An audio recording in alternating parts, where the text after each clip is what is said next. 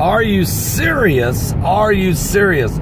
Folks, uh, real quick update here, but the uh, the rains have hit Hawaii. The Big Island is unbelievable. Already two feet of rain, 24 inches of rain already falling on the Big Island. There's massive flooding. There's uh, flash flooding and it's not letting up. And of course, this hurricane is still quite a ways out.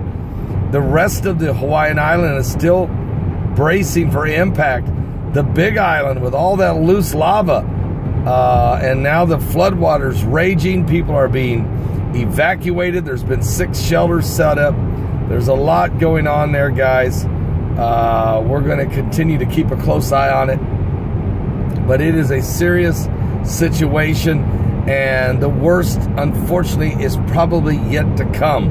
It's the rest of the islands of Hawaii that are bracing for impact. So, dangerous situation. We're praying for everybody there. Good news no one has lost their life right now.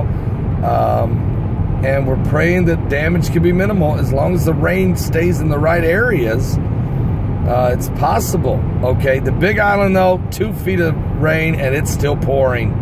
I'll be back with more current world events and how they relate to biblical prophecy. Are you serious?